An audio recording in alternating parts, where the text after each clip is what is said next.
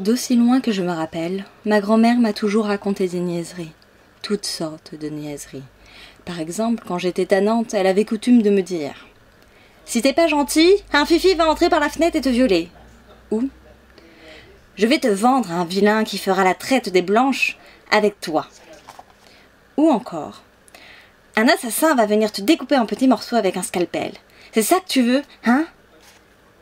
À 4 ans, je n'avais pas le droit au croque-mitaine ou au bonhomme 7 heures, mais au serial killer.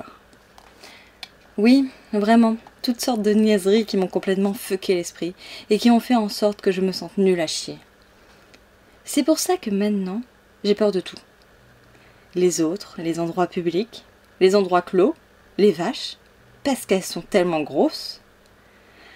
Les baleines, je n'en parle pas. Les sorties après 9 heures, quand je suis toute seule. Les araignées et leurs grandes pattes, les mille pattes et leurs mille pattes.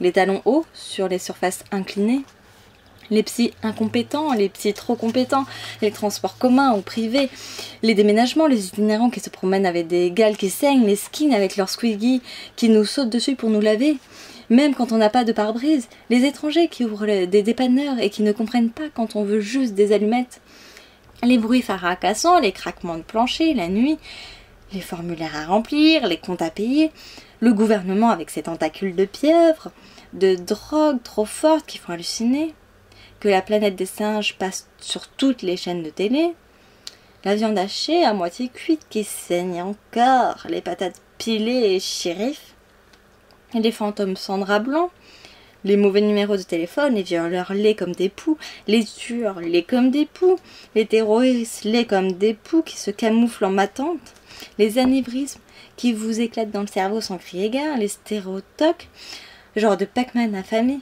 et le sida putain de maladie. Mais par-dessus tout, ce dont j'ai le plus peur, c'est de ne pas être aimé. Alors j'ouvre mes jambes afin de voir le ciel, mon petit bout de paradis. J'ouvre les jambes pour oublier qui je suis. J'ouvre les jambes de manière à briller comme une petite étoile. Je m'aime si peu, alors que m'importe d'ouvrir les jambes pour tous ceux qui semblent m'aimer un peu?